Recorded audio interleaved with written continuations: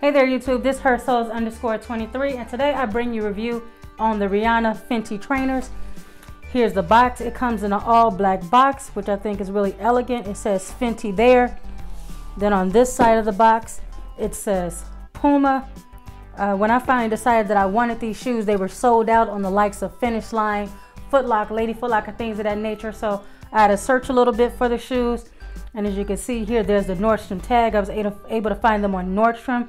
Uh, it's a Fenty Trainer Women's color black black size 5.5 UK. So uh, they were $180. Like I said, when I purchased them off Nordstrom, I had to wait a couple of weeks because they were back ordered. Here we go. It comes with a little bag to store your shoes in, which I thought was a really nice touch. This says Fenty. This material here feels like a velvet. Uh, right here, they do have the Puma logo on the bag. So I think that's a really nice touch to be able to store your $180 sneakers. Uh, let's look at the shoe. This is my first time looking at it. Um, this has white paper.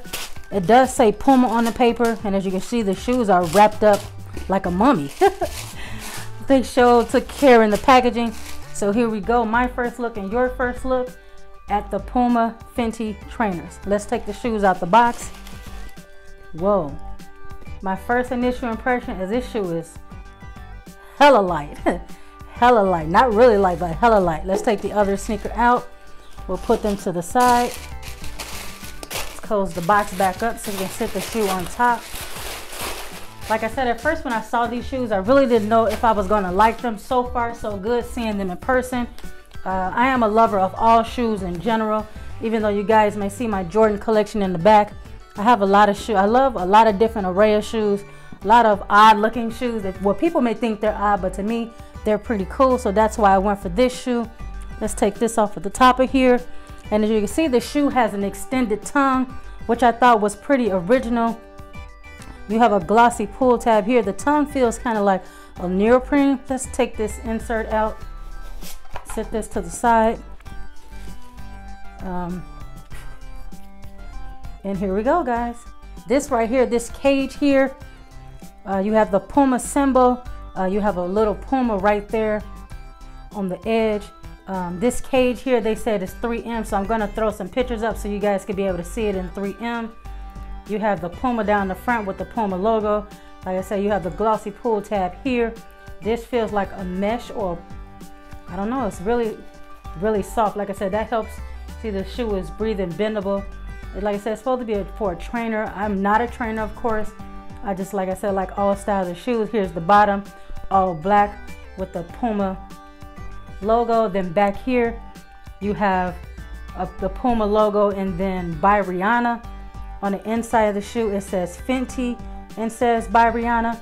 Um, like I said, and then on this side of the other cage, you have the Puma. Like I said, this is supposed to be 3M.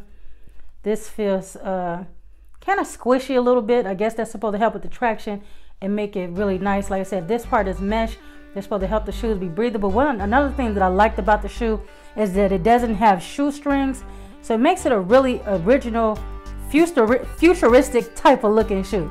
So I kind of like that. I really, I really do like that. Something different, something different for my collection. Um, so we're gonna have some on foot in a minute so you guys can see how they're looking. Like I said, I'm gonna throw up a couple of pictures to show snapshots of how the 3M looks when you take a picture but overall, I think it's a really, a really nice shoe. So I wasn't sure if I was going to keep them, but they look like a winner so far. Also, these shoes come in red and they come in white. I wasn't sure what shoe I wanted to get at first. So I went with the classic black just to see if I like them. So if I like them when I try them on, which I do kind of already, I probably go back and get another color and that color probably going to be red so it can stand out a little bit. So this was my quick look at the Rihanna Fenty trainer. Let's move on to the on foot.